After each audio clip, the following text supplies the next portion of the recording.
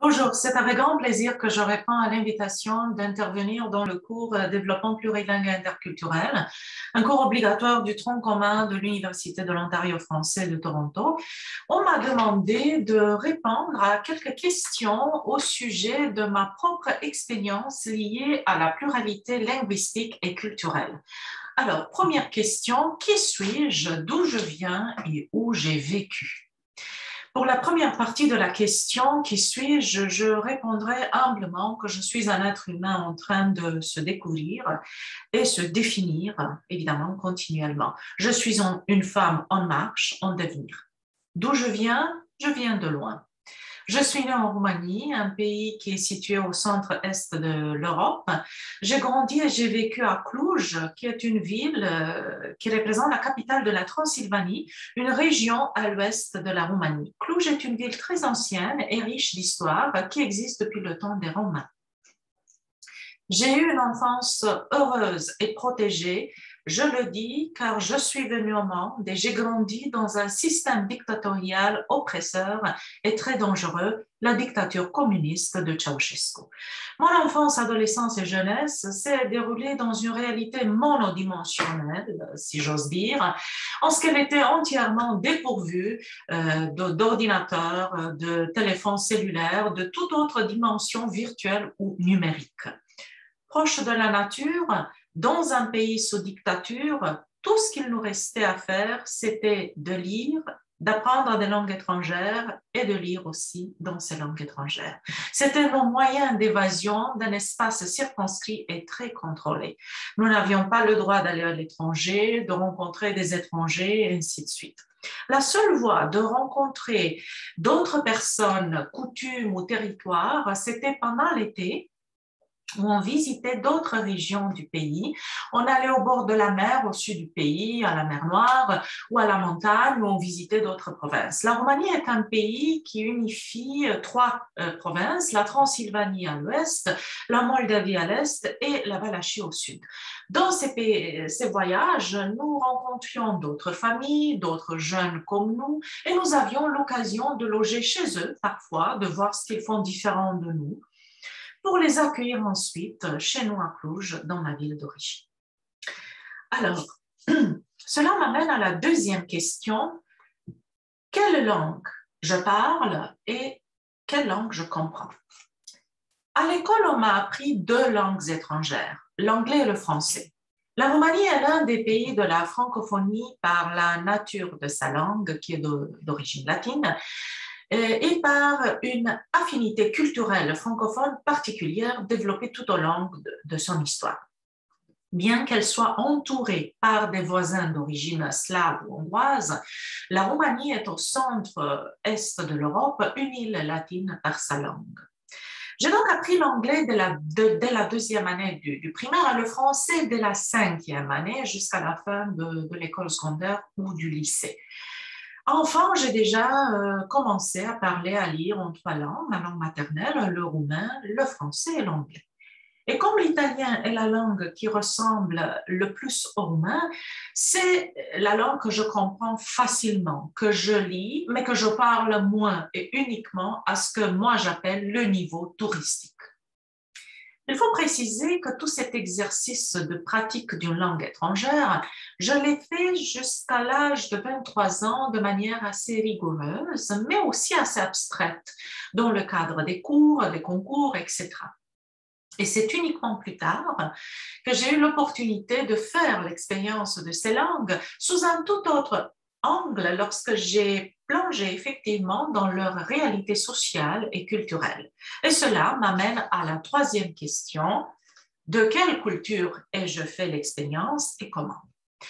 Je suis sortie pour la première fois de mon pays après la chute de la dictature du régime communiste je suis allée en Belgique pour un stage de deux mois. Et ça a été une découverte immense que je faisais depuis la hauteur de mes 23 ans.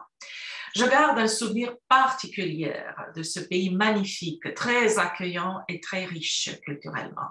Ça a été un immense déclic aussi au niveau de ma pratique effective du français, que je ne parlais plus depuis les livres de grammaire, de littérature, des romans et des poésies qu'on lisait en français, mais une langue que je parlais depuis sa propre réalité, avec des vraies expressions que les gens utilisaient quotidiennement au travail, dans la famille, entre les amis, et ainsi de suite.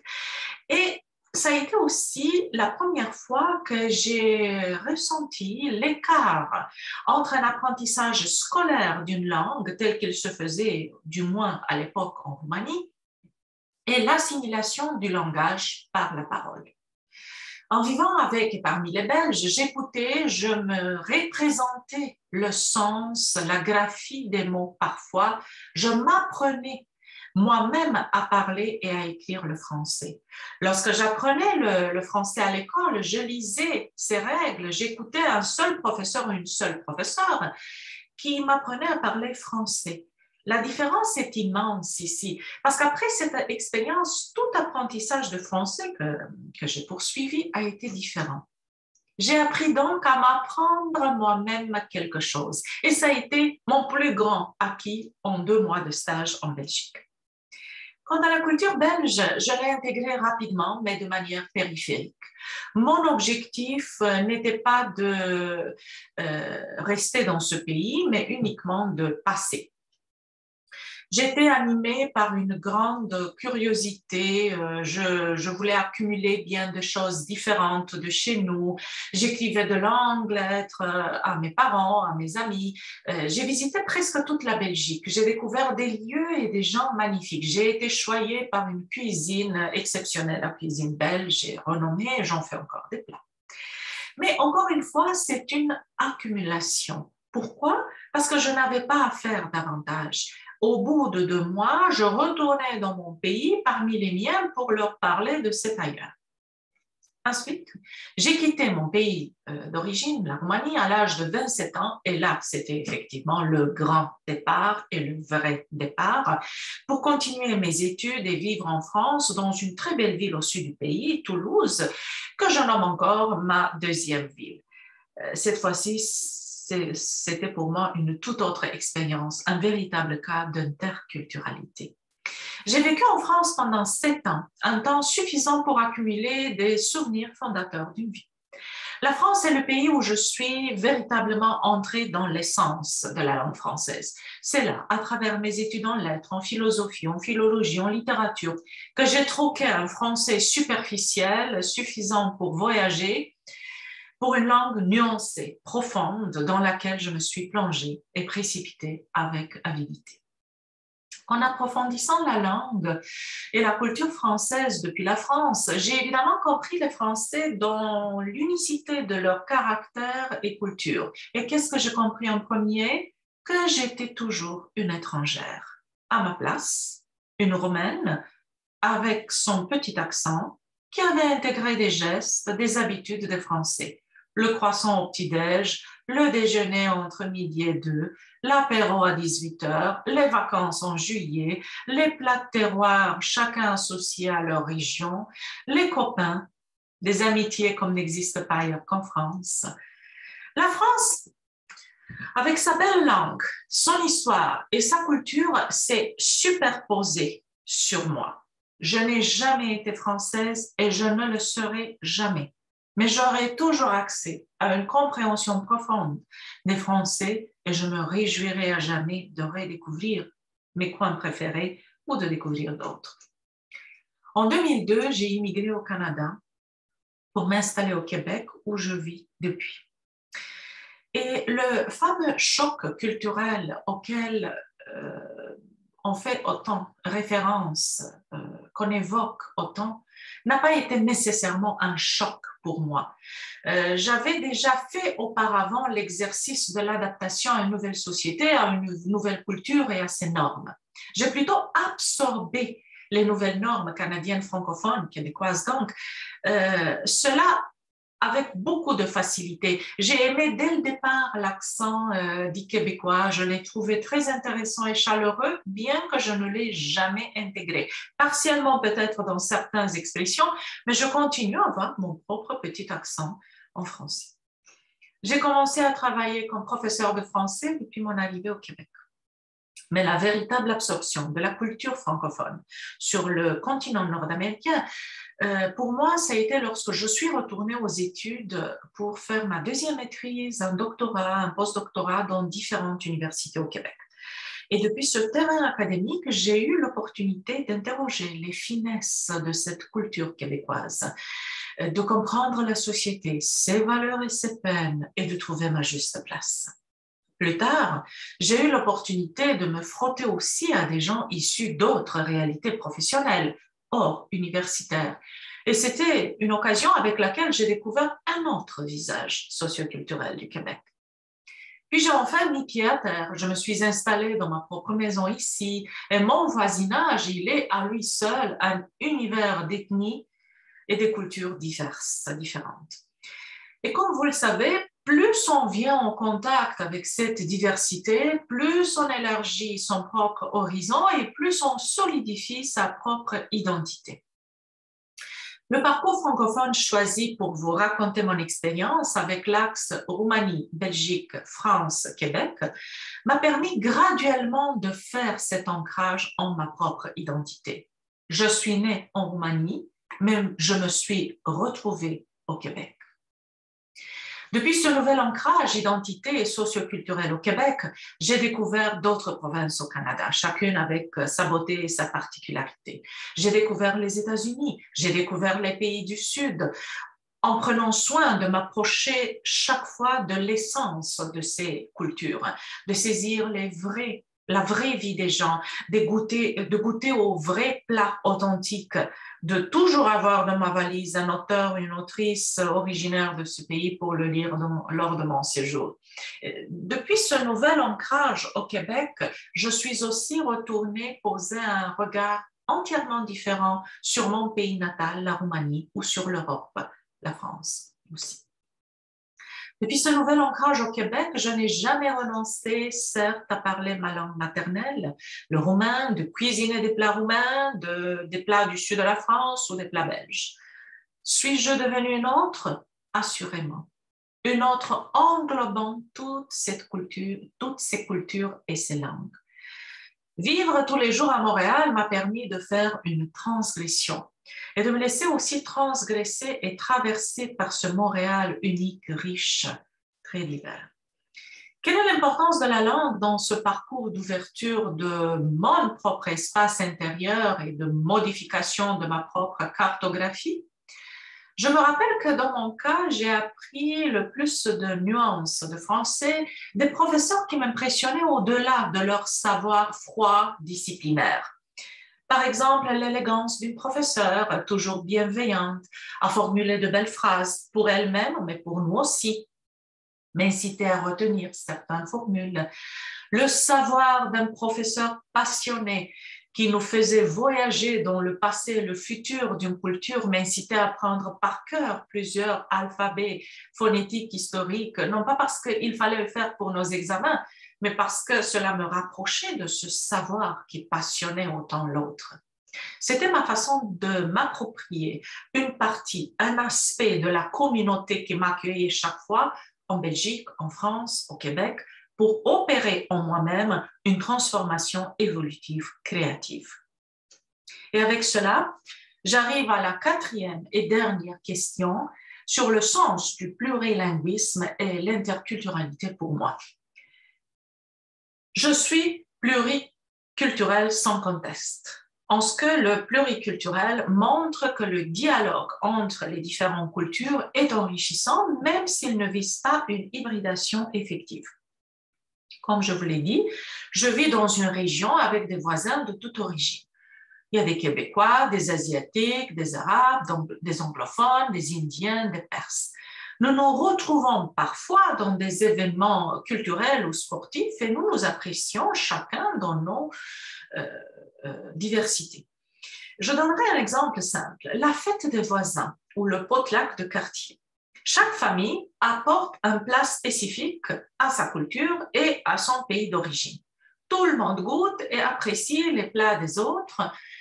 Euh, les voisins de même langue parlent même entre eux leur propre langue et cela nous fait plaisir de circuler et d'écouter la mélodie de cette langue. Puis, dans un français commun, qui préserve encore nos accents spécifiques euh, à chaque nationalité, on échange même entre nous des recettes, on se comprend très bien, même si parfois on ne comprend pas pourquoi on dit patate et non pas pomme de terre, mais à la fin, on retourne chacun chez soi et on reprend nos propres habitudes de vie et euh, nos propres habitudes culinaires.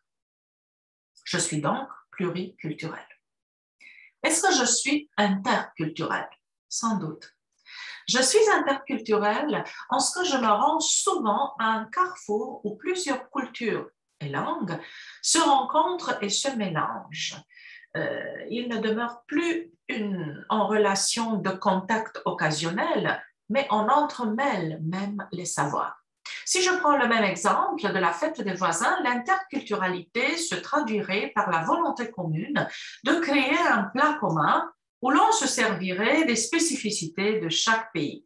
Les Indiens porteraient l'huile d'olive, euh, les Italiens porteraient l'huile d'olive, les Indiens proposeraient les épices, les Asiatiques viendraient avec une sauce spécifique, les Perses avec les noix, on fait le plat et on apprend aussi comment chaque ingrédient traverse la langue, comment il s'appelle dans la langue d'origine, comment il est traduit en français. On parle aussi tous et toutes français pendant que l'on cuisine. C'est notre véhicule de communication et de transport d'une culture à l'autre. C'est notre véhicule d'hybridation. Et lors de cette mise en commun, les expériences des autres me permettent de mieux me connaître moi-même. Je découvre une épice inconnue, j'écoute l'histoire qui accompagne cette épice, la région d'où elle vient, je fais découvrir moi-même euh, des, des choses spécifiques depuis ma culture et je m'observe en faisant cette découverte. Je me situe culturellement devant ces découvertes depuis un carrefour où l'on parle français, je suis donc interculturelle. Maintenant, est-ce que je suis transculturelle? Oui, je le suis devenue depuis que je suis venue ici au Canada, en ce que le transculturel désigne l'ouverture de toutes les cultures à ce qui les traverse et les dépasse. Je prends le même exemple. Cette fois-ci, nous nous rencontrons tous les voisins au bord du lac en forêt, devant un chalet en bois rang, euh, et nous partageons tous et toutes un repas typiquement canadien. Nous connaissons et nous avons appris à aimer tous le ragoût d'orignal, le pâté chinois, la poutine et la queue de castor enrobée de, de sirop d'érable. Le temps d'un repas, nous nous retrouvons tous, Québécois et Québécoises, par l'entremise de cette ambiance, de cette atmosphère créée. Celle-ci nous révèle ce qui dépasse et ce qui traverse toutes les cultures d'origine des gens assis autour de la table. On comprend que ce qui traverse et dépasse toutes les cultures nous est aussi accessible que notre propre culture d'origine.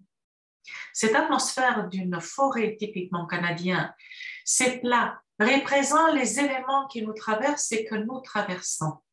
Je m'assois à table comme québécoise d'origine roumaine avec tout son bagage et sa traversée sociétale et culturelle derrière. Cet événement ne m'oblige pas de renoncer à ma culture d'origine pour la remplacer avec une nouvelle culture. Il ne s'agit pas d'une perte, mais d'un gain obtenu à la grâce à la transgression. Cet événement ne me permet pas, ne me me permet de m'enrichir différemment, non pas en côtoyant les plats des autres ou en faisant un plat commun avec les autres, mais en me retrouvant moi-même enrichi autre depuis un niveau d'interrogation plus complexe lorsque je verse le sirop d'érable sur ma queue de castor. Cet événement me permet de m'individualiser et non pas de me collectiviser à partir de rien de me perdre dans un collectif étranger. Je crois que c'est toute la force et la particularité de la transculturalité telle que nous pouvons la vivre depuis la terre canadienne. Ce que je voudrais dire, c'est qu'au-delà des définitions et des concepts, un être humain qui est en marche, et l'immigration est une de ces grandes marches. Un être humain qui trouve, c'est un être humain qui trouve la pluralité culturelle et linguistique en premier à l'intérieur de soi-même. Ainsi, cette pluralité devient une preuve de notre multidimensionnalité et nous permet d'intégrer plusieurs niveaux de réalité à tout moment, quotidiennement, à partir des plus simples gestes. La pluralité culturelle et linguistique est sans conteste une voie d'élévation de notre conscience humaine.